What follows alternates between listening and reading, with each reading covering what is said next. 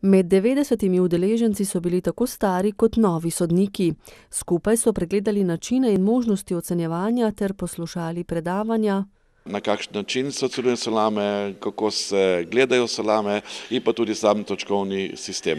Zveza združuje sedemnajst društev in toliko je tudi salamijad po Sloveniji.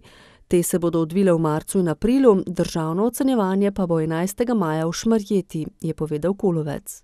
Temi ocenjevanji salam po raznih društvih nekako pridobivamo boljšo kvaliteto samih izdelkov naših salam, se pravi pravih kmečkih salam, in vidim, da je tudi tu zelo velik tekmovalni duh in ta tekmovalni duh tudi vpliva na samo kvaliteto salam. V zadnjih letih je tako kakovost salam vse boljša, kar je dober podatek za vse tiste, ki radi posežejo po teh izdelkih.